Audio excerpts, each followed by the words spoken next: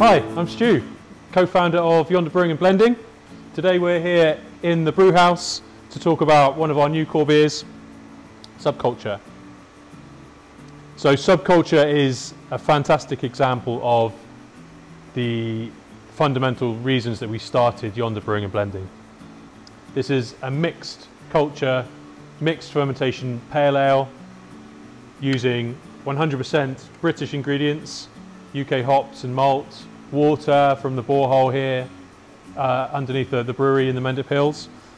And on top of that, it's, it's blended as well. So let's open a can and, and talk about how it tastes.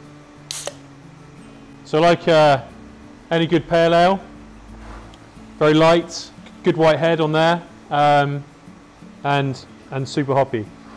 So although the ingredients are 100% UK, um, we've picked some of the newest hop varieties available grown in the UK, Jester and Olicana. So you get some real fruity, fruity hits from these. Um, stone fruit, high-end orange. This beer is actually made in two parts. So the first beer is what we refer to as acid beer, fermented with a Kveik strain and lactobacillus to give it the acidity.